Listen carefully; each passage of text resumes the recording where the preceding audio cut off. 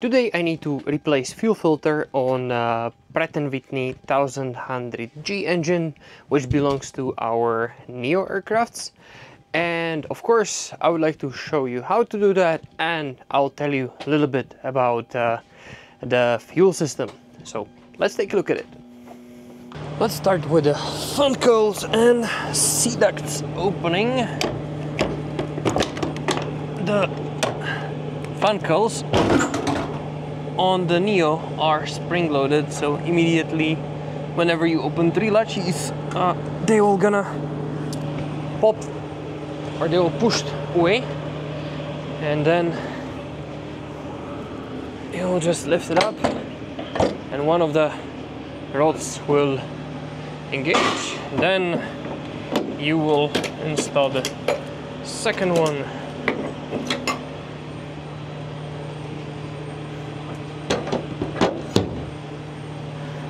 the other side as well. Uh, before we'll open the C-ducts, we need to deactivate thrust reversers hydraulic control unit like this. And whenever it is the lever is set like this, it's in inhibited mode. And yeah, now we can safely open the C-ducts. I already pulled the CBs for the slots. I deactivate the slots so we can open reversers or C-duct. We need to start with latch number five, which is here on the core. And then we need to go down. We need to start with number four, three, then BLS. That's lock. Two,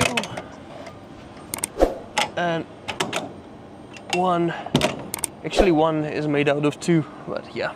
And now the C-ducts are free. So pick up the pump and we can open it.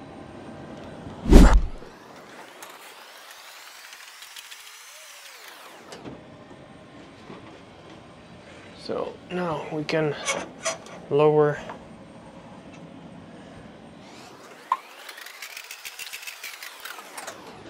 we can engage the support strut and now we just need to pump it up.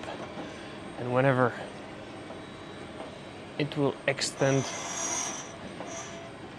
to the lock position it will automatically lock. Yes. You see the green band?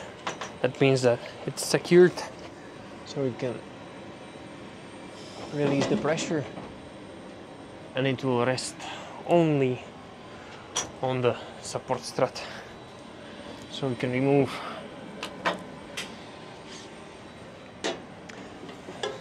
the pump and we can proceed with the filter. This is a core of the Pratt & Whitney engine and this is our fuel unit fuel pump and fuel metering unit.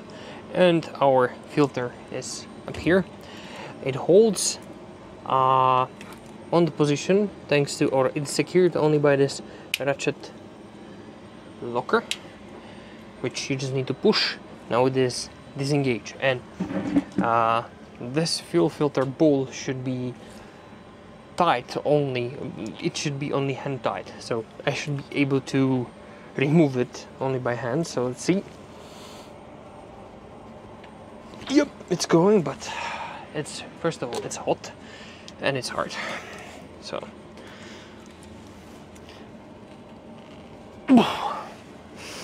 Okay.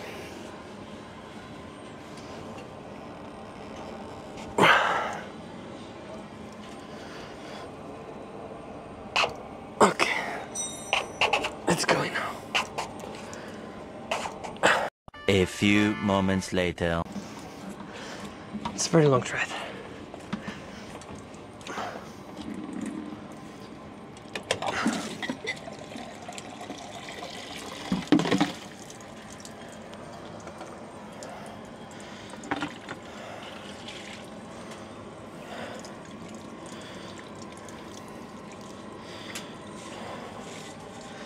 So this is our bowl and filter.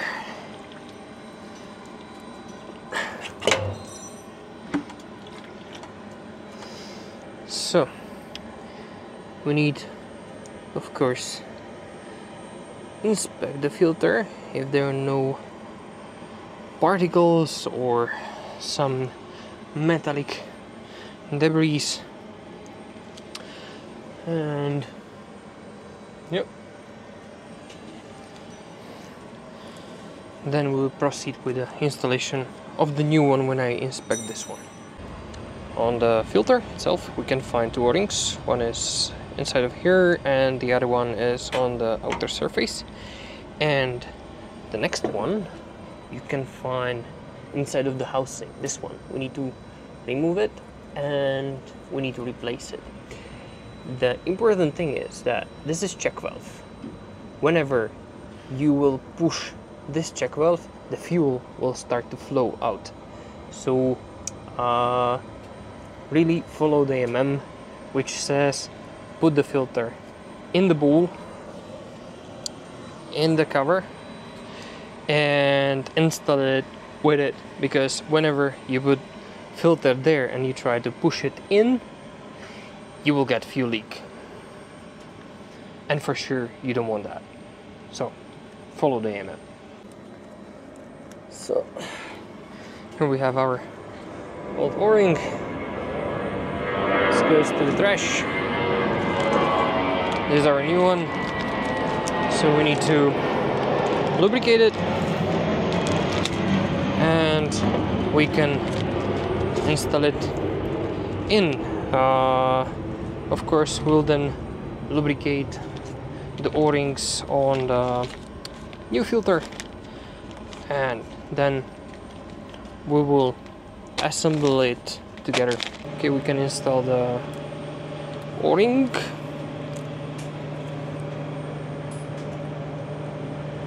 Just lubricate it so so o-ring is inside. Now we lubricate the filter o-rings. As I said we need to put it in the bowl. Yeah. and then we put it on.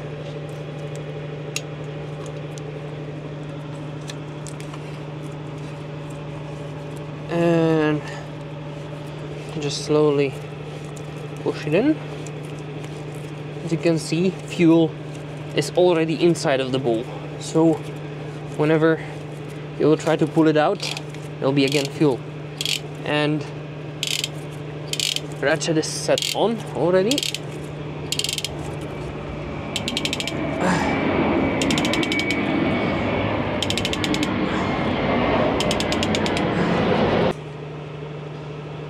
okay so safety mechanism is only this ratchet. You don't need to secure it. And yeah. Whenever it's tight it's tight. Okay now we're gonna clean it.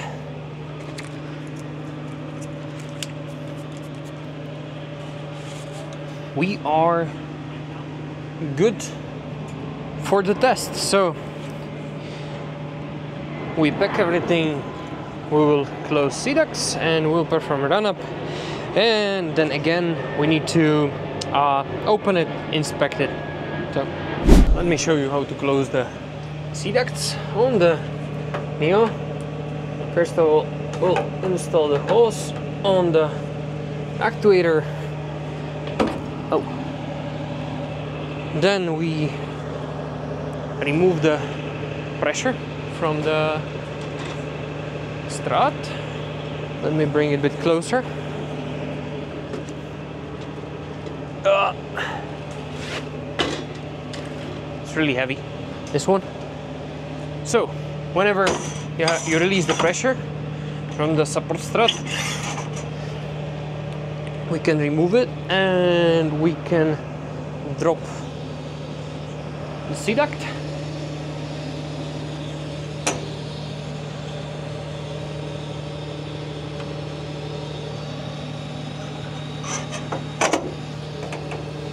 and we will stow it up here.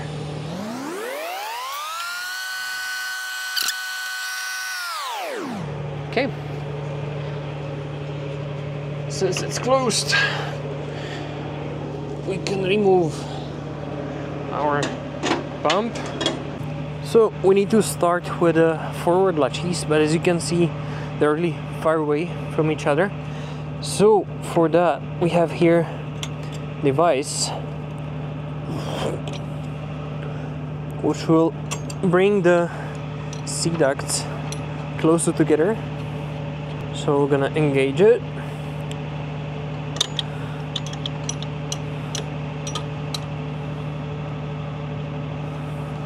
And now we're gonna use French to bring it closer together.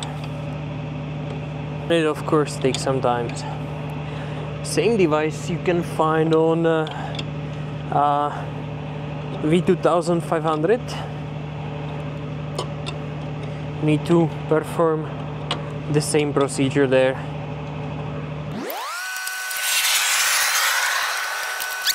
Okay perfect. Now it engaged. So we can close the latch L1 A and B meanwhile we can store this device a little bit extend.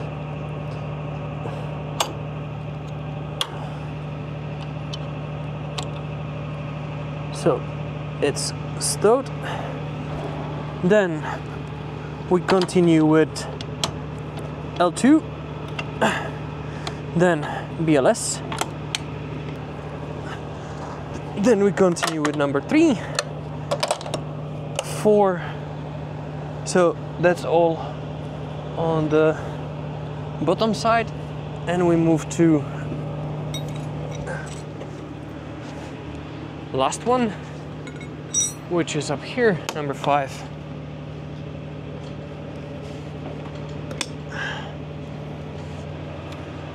And that was uh, that was the last one. Okay so let's activate the hydraulic unit. And yeah we can close the fan cowls funcals are quite far away from each other because they're spring loaded. So you can grab it grab them with your knees. And then close it. Easy as that. Uh, we don't have the fan cowl key on those uh, latches because uh, they're monitored. Those latches are monitored. So if you leave the latches uh, open you will find uh, indication on the ecam. So that's why you don't need to have a key for those fan cowls PV engine on Neo has one special feature which is called bow rotor protection. And what does it mean? EEC keeps the N2 speed at low value, approximately 10%. From the outside you can hear only noise, but fan is not turning. Duration of this feature is calculated based on time since shutdown, outside air temperature and engine turbine temperature. During this motoring to start procedure, cooling and remaining time indication is displayed on upper ECAM. When the motoring to start period is complete, indication will disappear and EC will continue to normal engine start. And this of course brings problem, especially when you have a failure on the starter valve and you need to open it manually because you are not able to simulate this bow rotor protection and that's why you need to wait certain period of time which you will find on MCDU. This time is calculated thanks to data which EEC received. And if you decide to not follow this procedure, you can cause major damage to the engine. Whenever you will find uh, information that start valve can be manually open, you can perform this override procedure. That was few information about startup procedure. Meanwhile, our engine reached idle, so now we need to wait 5 minutes, then we switch it off, and after we'll take a look on our filter if there is no leak. Leak check is done, or engine run has been performed. As you can see, no leak. So we can uh, close engine. And all what's remaining is paperwork. Okay, this is uh, all about fuel filter on uh, PV1100G, which belongs to A320. If you have any questions, please write them down in the comments below, and I'll be more than happy to answer to you. Uh, as always, I would like to ask you to don't use this as a replacement for the maintenance manual, but always use latest documentation released by manufacturer. That's all from my side. Uh, thank you for your time. My name is Tomáš. This was Aircraft Maintenance with Zeto and I'll see you next one. Bye.